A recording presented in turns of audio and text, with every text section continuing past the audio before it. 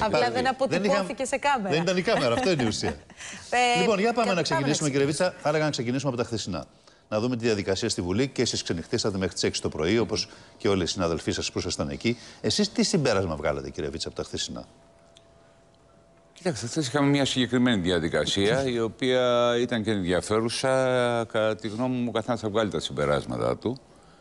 Όμως, ε, όσο αφορά το Κοινοβούλιο, ξεκίνησε με τη χθεσινή απόφαση η διαδικασία διερεύνησης ε, του σκανδάλου Νοβάρτης. Αυτό δεν υπήρχε καμία, θα έλεγε κανένας όσοι μιλήσανε, ακόμα και αυτοί που εγώ θεωρώ ότι το είπανε για τους τύπους ότι πρόκειται σκάνδαλο, γιατί Το α- δέχτηκαν, ανα, λέτε, οι αναλωθήκανε σε άλλα ζητήματα. Ε, α, ξεκίνησε λοιπόν η διαδικασία μέσα στη Βουλή. Ε, συγκροτήθηκε η Προκαταρκτική Επιτροπή, η οποία σε ένα χρονικό διάστημα θα πρέπει να ε, ολοκληρώσει Πολύ την γρήγορα όμως. διερεύνηση. Σε πόσο χρονικό διάστημα, Ε, η εργασία της, δηλαδή αυτό που έχει αναλάβει, ε, είναι να δει καταρχήν ποιο είναι, ποια είναι τα πρακτικά, τα δικονομικά, ας το πω έτσι, σε ποιο Σε βάθος θα νόμο μπει, θα μπει στην επίπτουν. ουσία; Ε, αυτό είναι υπόθεση πάλι της Βουλής. Τι εννοώ δηλαδή. Βεβαίως μπορεί να πάρει μαρτυρικές καταθέσεις. Ε, βεβαίως Μπορεί να μετά το κρατήσει χρονικό περισσότερο; διάστημα, αν το κρίνει η ίδια η Βουλή και το ζητήσει από την Ολομέλεια, η, η ίδια η Επιτροπή και το ζητήσει Ναι, αλλά από από την ό,τι βλέπουμε η Ολομέλεια κυβέρνηση δεν της το θέλει Βουλής. αυτό. Βλέπουμε Ε, μεθοδεύει μια άλλη διαδικασία. Να σας πω- δηλαδή, θέλει να τελειώνει γρήγορα η Επιτροπή και να πάει στη δικαιοσύνη όπου εκεί θα σέρνεται, κανείς δεν ξέρει για πόσο χρονικό σας πω εγώ διάστημα, την άποψή σπηλώνοντας μου. πολιτικούς αντιπάλους. Θα σας πω Αυτό εγώ λένε οι την αντίπαλοι άποψή σας. μου. Ε, καταρχήν, να, να σας φέρω εγώ μια νέα οπτική. Ναι. Έτσι, αυτός που θεωρεί ότι σπηλώνεται θα πρέπει να, ξασκε... να ξανασκεφτεί το νόμο περί ευθύνης υπουργών. Τι, τι λέει αυτός ο νόμος, ότι όποιο όνομα πολιτικού έρχεται στη, πηγαίνει και παραπέμπεται στη Βουλή. Μπορείς να ζητήσεις την άρση ασυλίας σου και να πας στη δικαιοσύνη. Δεν σε Αυτό, πειράζει από κανείς. την άλλη τη μεριά, δεν άκουσα κανέναν χτες, αλλά από την άλλη μεριά, τη, τη μεριά διακόπτει με μία έννοια τη διερεύνηση της υπόθεσης από τις εισαγγελικές αρχές όσο αφορά τα... Είναι παραγεγραμμένα, Εγώ λέω, λοιπόν, Ναι. κοιτάξτε, αν σε ένα τέτοιο μεγάλο ζήτημα, ε, σε ένα ζήτημα τέτοιας έκτασης σκανδάλου, η οποία έχει διεθνές. Το πρώτο ζήτημα που μπαίνει, το ζήτημα της παραγραφής, νομίζω ότι πλέον έχουμε πολύ μεγάλο πρόβλημα. Έχουμε πολύ μεγάλο Εγώ από ό,τι πρόβλημα. άκουσα πάντω οι περισσότεροι Εγώ δεν λέω θέλουν. το πρώτο και δεν το θέλουν βασικό. να το χρησιμοποιήσουν το αυτό. πρώτο και το βασικό ζήτημα στο οποίο ο καθένας θα μπορεί να ε, κουβεντιάσει είναι οι πολιτικές ευθύνες. Και εγώ δεν άκουσα εχθές. Εδώ να μιλάμε για δέχονται- πολιτικές όχι, κύριε Βίτσα, ευθύνες, πολιτικές κύριε Δεν, ευθύνες. Βίτσα. δεν μιλάγαμε για πολιτικές Ε, ευθύνες το προηγούμενο δεύτερο, διάστημα. το Εσείς, δεύτερο. Εδώ μιλάγανε για βαλιτσάκια. Το δεύτερο. Και χθες ακούμε τον Πρωθυπουργό να τον γυρίζει τούμπα και να Αφού- λέει: Παιδιά, υπάρχει σκάνδαλο χωρίς πολιτικές ευθύνες. Χαίρομαι πολύ. Το δεύτερο, Πολιτικές λοιπόν. ευθύνες έχετε όλοι οι πολιτικοί. Υπάρχει, Εσείς, λοιπόν, κύριε Βίτσα, είστε αναπληρωτή τεράστιο υπουργός άμυνας. σκάνδαλο. Οτιδήποτε γίνεται στο χώρο σας, έχετε την πολιτική ευθύνη. Βεβαίως, Αυτό είναι άλλο αλλά θέμα. εδώ είναι, Δεν είναι το ίδιο. η- πολιτικό και γε- ε, ζήτημα και ζήτημα γενναιότητας, αν θα βγεις να το παραδεχθείς ή όχι.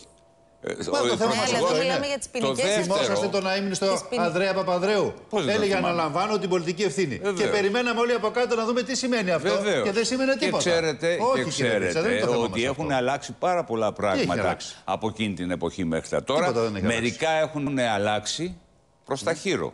Α, μπράβο. Έτσι δεν Προς είναι το όπως είναι ο χειρότερο, νόμο έτσι. περί Σωστά. ευθύνη υπουργών. Ποινικές Λέω, ευθύνες δεν λοιπόν, τώρα. διερευνώνται αυτή τη Α, στιγμή για βεβαίως, αυτά τα μα πολιτικά μόνο πρόσωπα, κύριε ποινικές Βίτσα. ευθύνες, μόνο Άρα, ποινικά τι μας λέτε, πολιτικές αδικήματα. ευθύνες; Τα Αν έχουν έχουν πάρει πιάσει. οι πολιτικοί σας Ε, αντίπαλοι. εδώ- Αυτό ψάχνουμε. Εγώ αυτό Αυτό, καταλαβαίνω. αυτό φαντάζομαι ότι θα το ψάξει και η, προ... η... Με αυτό και τους η παραπέμπετε. δικαιοσύνη. Μα με και αυτή η την έννοια τους δικαιοσύνη. παραπέμπετε Όχι, όμως. όχι, όχι. Ε, πώς όχι. Κάνετε με μεγάλο λάθος. κάνω λάθος; Αυτό για το οποίο θα, αν παραπεμφθούν, γιατί αυτή τη στιγμή έχουν πάει στην Ελέγχονται. Καταρτική Επιτροπή, ελέγχονται έτσι. Αν οποιοδήποτε παραπεμφθεί, θα παραπεμφθεί με συγκεκριμένη λογική ότι τέλεσε ή πιθανά τέλεσε το συγκεκριμένο αδίκημα. Μάλιστα. Και έρχεται η δικαιοσύνη μετά, το διερευνά ολοκληρωμένα, όπως έκανε και σε άλλες υποθέσεις, Και αποφαίνεται. Μάλιστα. και αποφαίνεται.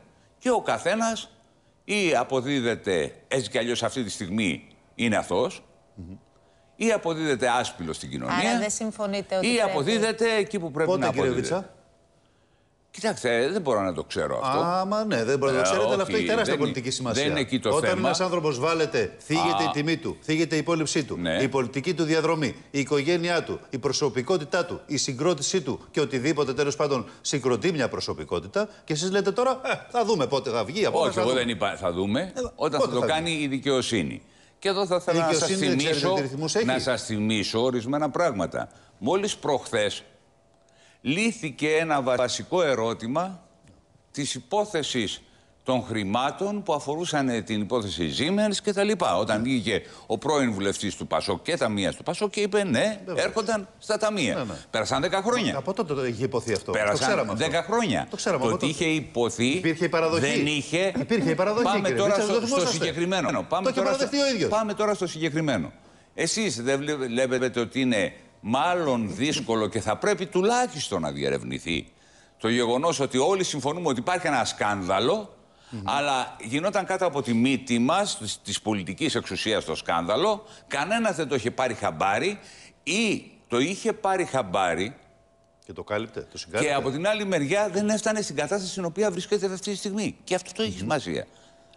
Μα α, εμείς αν ε, θέλετε βάζουμε σε ένα καθήκον στον εαυτό μας είναι τέτοιες διαδικασίες να μην ξαναυπάρξουν. Μα δεν λέει κανείς, κύριε Αυτό Βίτσα, να μην είναι διερευνηθεί ό,τι είναι να διερευνηθεί. Άρα Εδώ να ψάχνουμε- διερευνηθεί. Εδώ ψάχνουμε εάν οι, οι Μην το συγκεκριμένοι πηγαίνουμε, πολιτικοί κύριε Οικονόμου, τα έχουν αρπάξει. γύρω-γύρω. Αυτό μας ενδιαφέρει. Μην το Μα πηγαίνουμε δεν είναι γύρω-γύρω. Στο κέντρο είμαι εγώ. Αρχίζουμε, αρχίζουμε και λέμε, ας πούμε, ξέρω, εγώ θυμάμαι και μια ομιλία εχθές, Ναι. η οποία στηρίχθηκε μόνο σε δικονομικά. Ήταν σαν να γίνεται απολογία.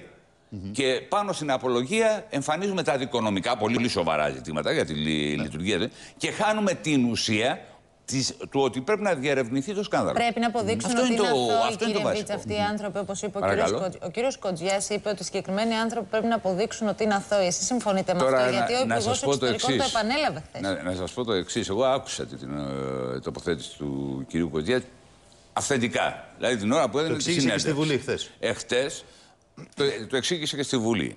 Τώρα, αν θέλουμε, πώς να το πω, στο δημόσιο λόγο, και όχι εδώ πέρα να παίζουμε, ο Κοζιάς Παρεμβάσεις, ναι. είπε αυτό που είπα και εγώ προηγούμενα. Ακολουθείτε μια διαδικασία.